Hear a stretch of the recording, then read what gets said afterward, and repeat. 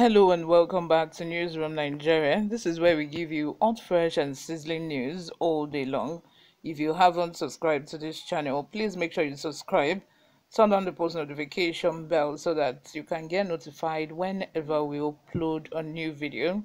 Help us grow this channel by giving this video a massive thumbs up so that this video gets recommended to other YouTube viewers as well. Lastly, please leave your comments in the comment section.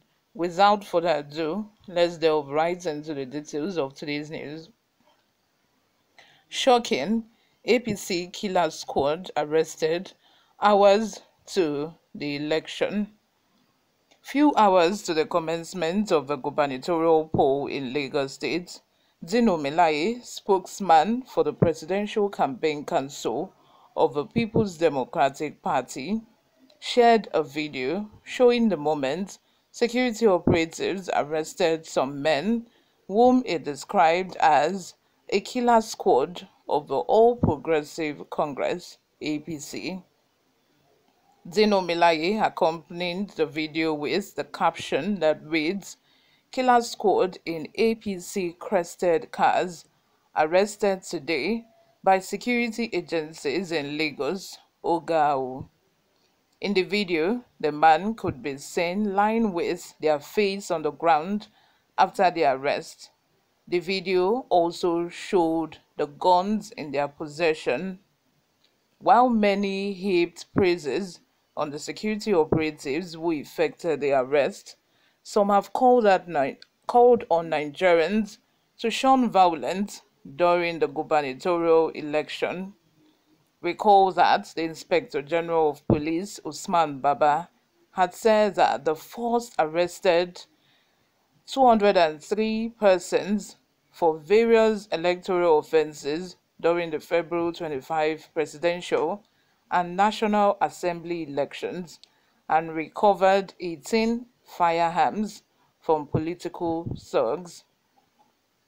Usman Baba, in a statement issued through the Force Public Relations Officer, CSP Olumuyiwa Adejobi, said that the suspects were arrested in 185 major incidents which the police responded to.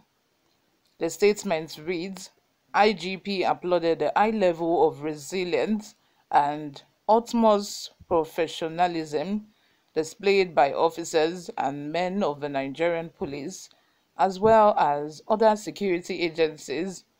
In the course of the election security operations in line with the reviewed standard operational guidelines and rules for police officers and other security agents on electoral duties, which was issued which was issued to all officers in the countdown to the election operations.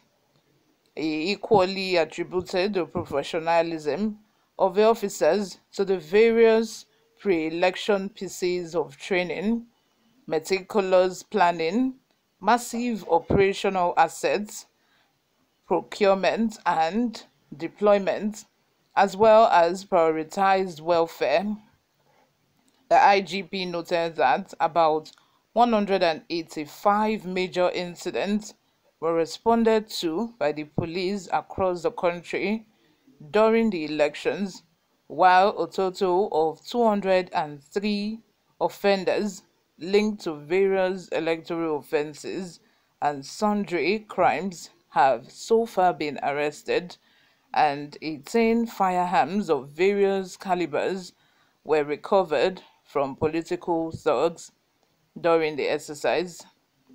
Second is the is to assess the security situation at all levels in the immediate aftermath of the February 25, 2023 set of elections.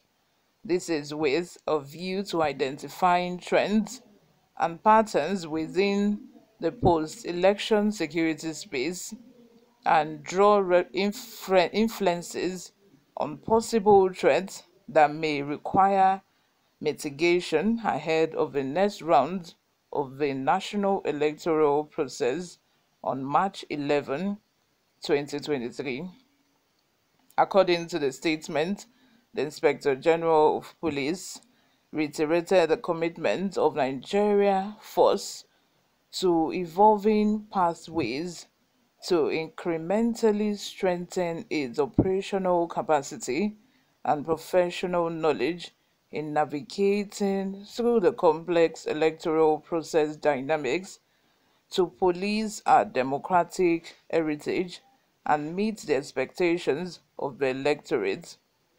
Furthermore, IGP Usman Baba urged parents and guardians to prevail on their children to resist the urge of being recruited as cannon folders or destabilizing agents to disrupt the nation's electoral process. The Nigerian police, under my watch, will be usurping, pardon me, the Nigerian police, under my watch, will be unsparing of such elements and their sponsors, the IG warned. Let me know what your thoughts and opinions are in the comment section. Subscribe if you haven't, guys. Thank you very much for always watching and supporting us on this channel. I will see you in my next video. Bye for now.